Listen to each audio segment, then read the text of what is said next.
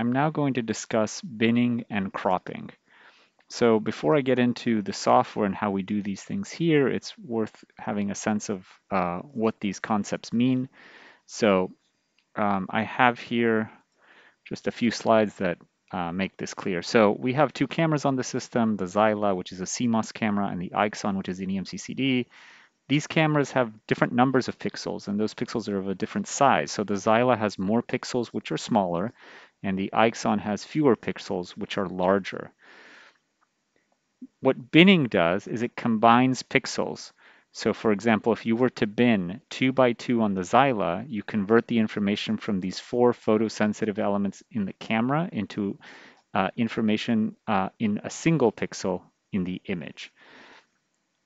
Uh, if you were to do the same on the Ixon, you combine uh, the information in this small 2 by 2 square of uh, photosensitive elements on the camera and you transform it to a single pixel in the image. So uh, an important point is that binning is needed for dual camera imaging because the number of pixels in the image must match. And because the Ixon has fewer pixels than the Zyla, we at least need to bin the Zyla by a factor of two to get the same number of pixels. Now, binning has a number of effects. First, it decrease, decreases spatial resolution because each pixel represents a larger size in the sample. It decreases file size because fewer pixels mean less data. It increases the sensitivity of the camera, and this effect is larger on the Ixon than on the Zyla for reasons I'm not going to go into here. Just trust me that that's true.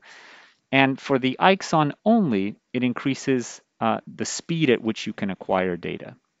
So that's binning. So what's cropping? So what cropping does is it removes pixels. So for example, if we were to crop the center quadrant on the Zyla and the CMOS, we would be left with images that look like this. Now, cropping will increase the speed. Uh, beware that this increase in speed depends on exactly which dimension uh, you crop, and I will discuss that in videos uh, that go into how to um, go as fast as possible with both cameras. It decreases your field of view because you're just looking at a part of your field of view. You've cropped out the rest and it decreases file size. So that's cropping. So how do you do these things in the software? So the way you do them are in this part here. These predefined AOIs or areas of interest are the cropping. So you can see you have a number of default settings and you can choose any of those you like. So for example, here, this is a 2048 by 2048 image with the Zyla camera. If I reduce it to a 1024 by 1024 and snap another image, we should see only the center quadrant. And that's exactly what happens. So that's cropping. And again, you have many options to choose from, from or you can even use a custom option. I'm going to go back here. Uh, binning is this setting. And for example, if you bin 2 by 2, the total area in the sample that's represented in the image will stay the same, but you will see that the resolution goes down. So if I snap an image here, um, again, the total size of the image is the same, but the resolution goes down. So how do I tell if the resolution went down? Let me see if I can do cropping and binning to make this a little bit easier to see.